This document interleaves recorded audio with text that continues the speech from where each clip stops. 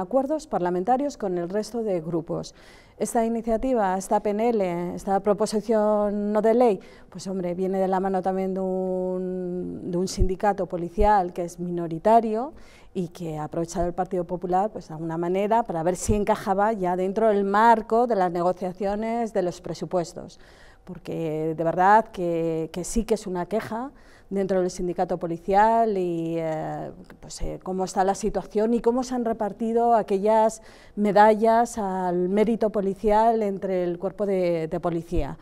Que, que, es cierto que en determinados años se han dado a los estamentos más altos y a las partes, digamos, más bajas de la escala policial casi no llegaban esas medallas y efectivamente esas medallas pensionadas y que, y que además para adquirir una, una medalla hay que, de, que tener unos, una serie de requisitos y es pasar por ese peligro de una acción, de